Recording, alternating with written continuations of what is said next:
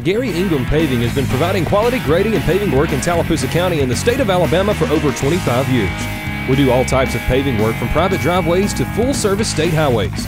We also do concrete work ranging from curb and sidewalk installation to ground gutter water runoff jobs. No job is too big or too small.